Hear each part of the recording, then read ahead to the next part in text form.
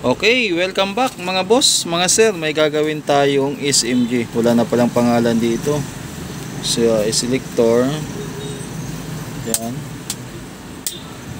Loudness, monitor, bass, treble, volume, balance. Tapos, para sa loud niya sa LED, solid state. Ayan o. Oh. Uh, SMG yan. Dito pala yung logo niya. SMG Electronics. Ito yung pinaka power on niya So ano ba gagawin natin dito? Wala na pala tong paa oh.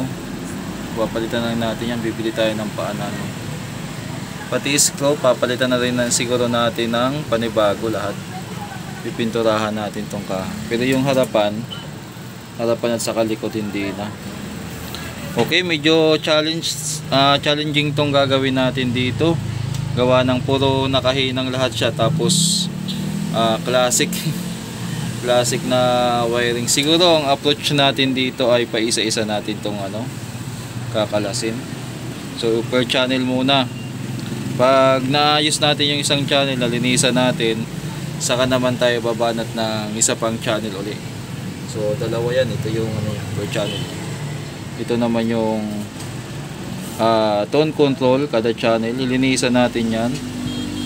Tapos i-recap din natin. Okay So abangan nyo na lang, kakalasin ko muna to ng paisa-isa lang. Ito lang muna kakalasin ko para kung sakaling may makalimutan tayo, may pagkukopyahan tayo dito sa ganito. Okay?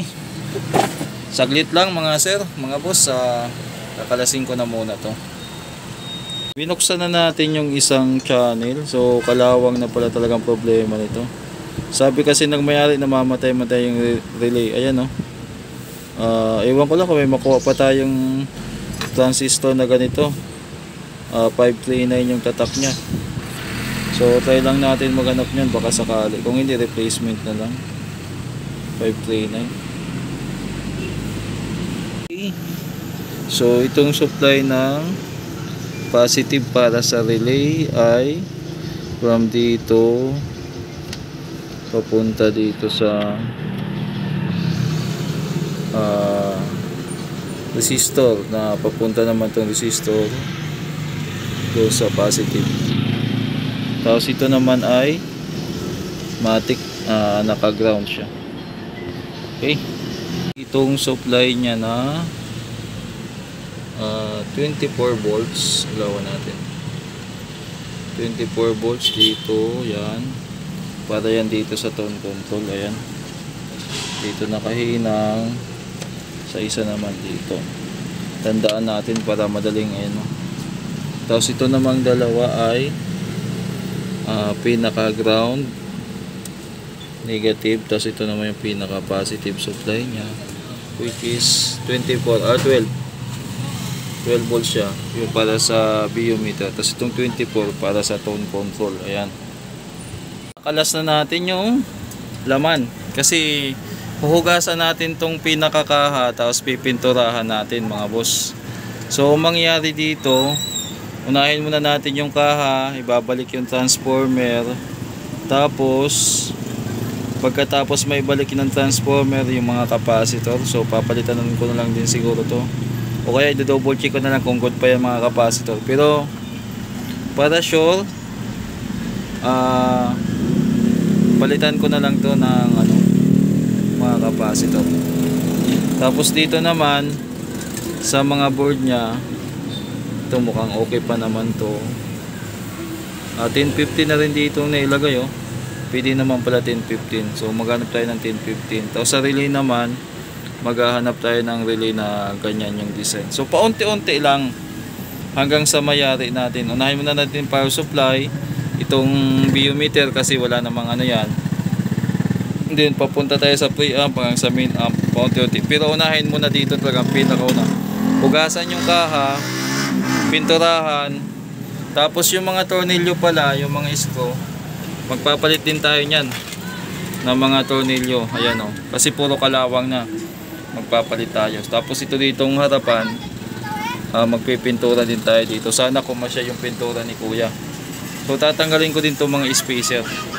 Okay it mga sir dito sa ano natin hindi pa actually uh, naganap ako ng mga screw dito sa ano kasi yung mga islungan niya kalawang so nandito pa yung merienda gabi no?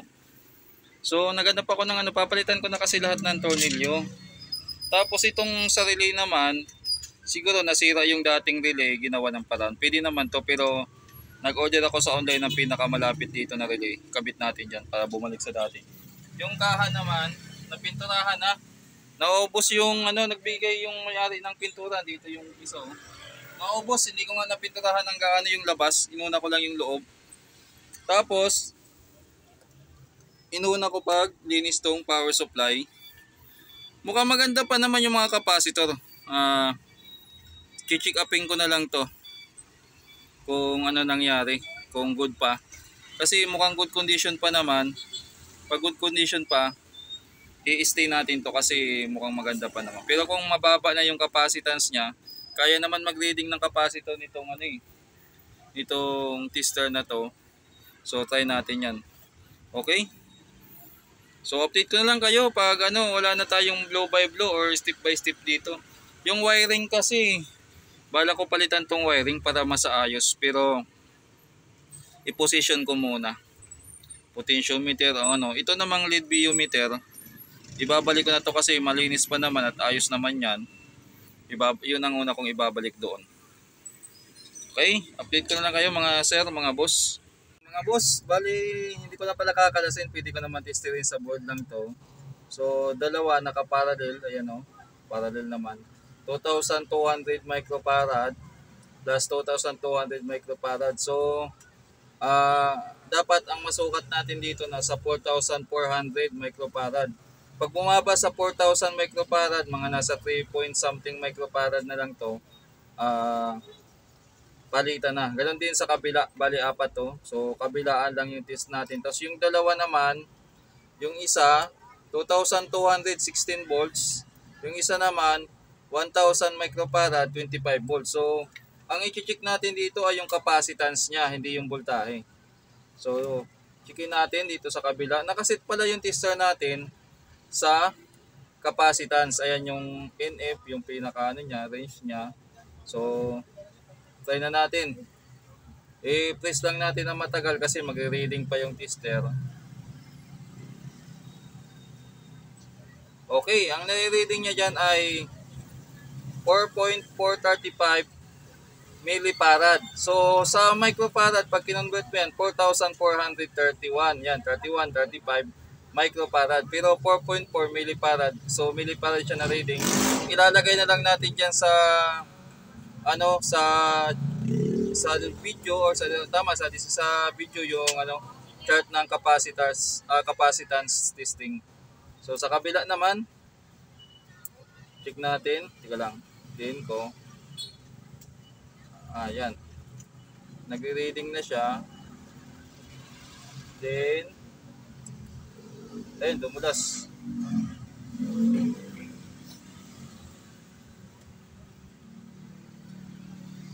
Okay, tagal ah. Ayan, 4.41. Uh, 4,439 or 41 microfarad yung reading kanina. So, good pa siya. Itong kabila naman.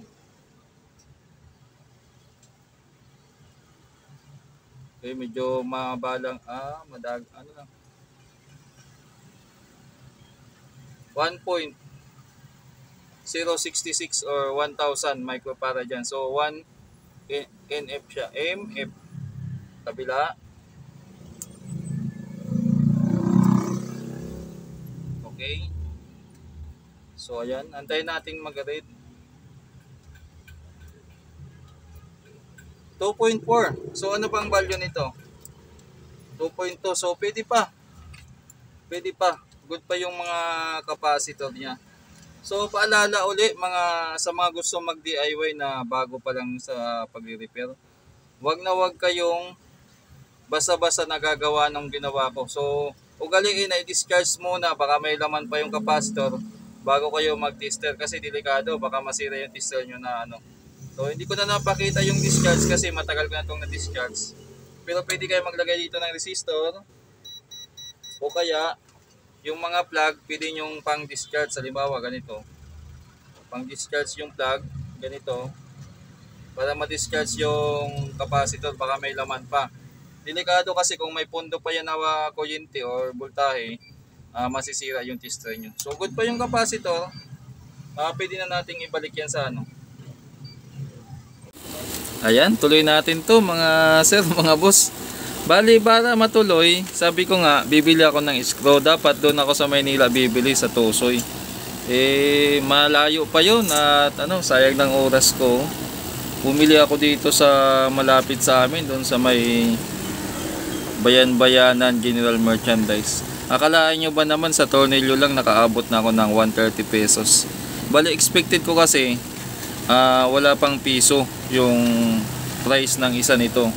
Ang tinda dito sa amin ng isang ganito, dalawang piso. So ito yung mga screw na nabili ko.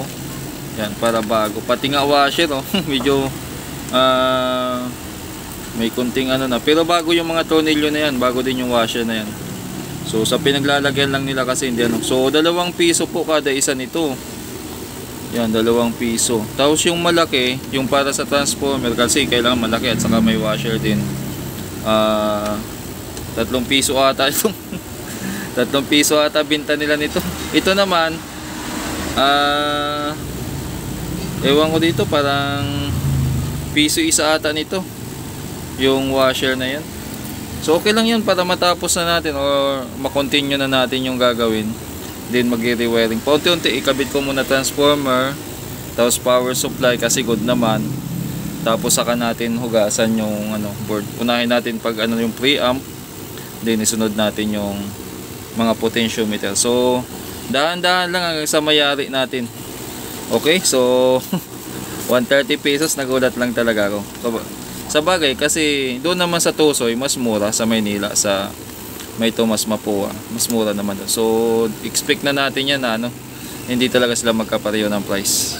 Okay, update lang mga sir, mga boss. So uh, pag pisto pa lang hindi ko na pinalitan ng wire inaayusin ko na lang yung hinang iba dyan inayos ko na tapos iayos ko na i-arrange ko na lang yan para mailagay ng tama yan yung potentiometer napalitan ko na tapos nilagyan ko ng tape kasi mahirap magpalit kabit nito tingnan nyo silyado na yan para hindi pasukin ng alikabok uh, itong volume huli ko na siguro yan kasi nung tinis ko mukhang okay pa naman i-actual kong testing yan kung kumusta ito na din yung supply niya ito na yung ano, binago ko na yung wiring sa ano kasi ito yung dati niya.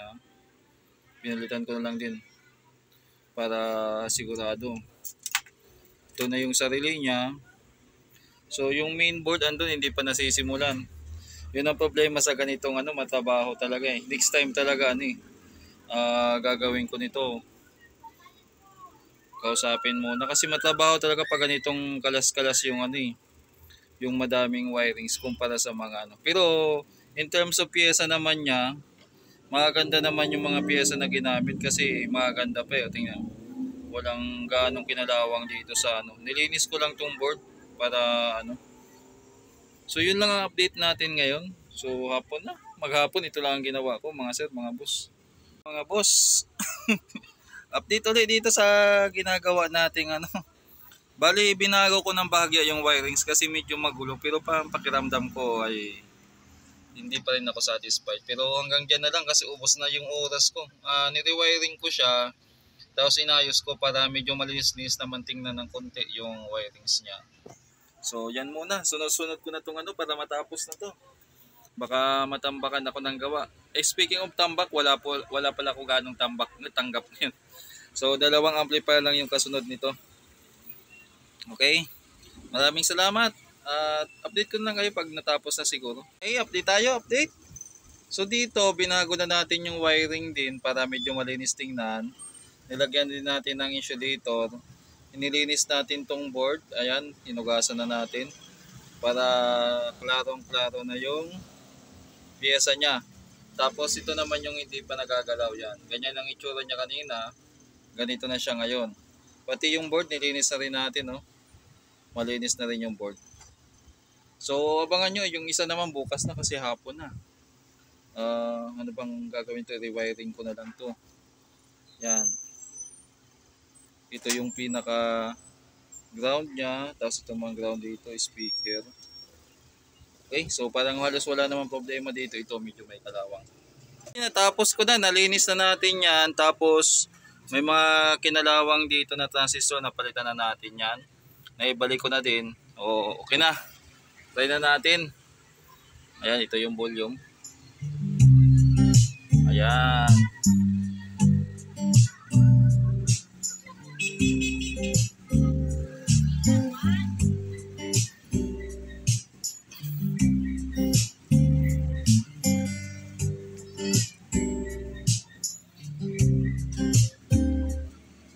Sa wakas, mga boss, nice na ano bang remarks ko dito? Ah, sa tingin ko kailangan ko i-reconsider bago tumanggap ng ganitong ano. Ang downside lang kasi ng pag-restore ng ganitong mga lumang modelo na na amplifier na naka-wiring pa kasi siya. So ang dami niyang wirings. Kung magre-rewiring ka, talagang ubos oras mo o talagang hindi kaya ng isang araw, dalawang araw. Kailangan mo talaga ng mahabang pasensya pag ganito. Hindi katulad sa mga bagong amplifier ngayon, 'di ba? Yung mga bago ngayon na may mga wiring naman pero nakapangsakit na kaya madali nang ano, madali nang kalasin. So ito na symbol nung panahon na wala pa yung technology ng mga disakit o ano kasi ito ay ano talagang gawa ng raon sa ano yun oh. Okay? So okay na. Ang napalitan natin dito ay mga potentiometer, yung mga switch. Ah, may WD-40 naman ako nilinis ko na lang 'yan at saka mahirap na din maghanap ng mga ano. So hindi lahat ng piyesa na nandito ay napapalitan o mayroon pang available sa panahon natin ngayon. Mayroong mga piyesa ngayon na hindi na nag-exist katulad nito, mga switch na yan. Eh halos hindi na po nag-exist ngayon yan. Wala ka nang mabili sa raon yan kung tama ang tansya ko. Kahit itong mga MOSFET, sabi nila mahirap na daw ito hanapin kaya pag nasira, pahirap pa na din. Kahit nga yung sa relay, yung relay section niya na i-convert ko na lang yan para may balik sa dati dyan. At so far gumana naman. Malakas naman yung tunog niya. Okay? Balance. Okay? So mga boss, hanggang dito na lang yung vlog natin at sa wakas natapos din. Kailangan ko nang i-chat yung may-ari.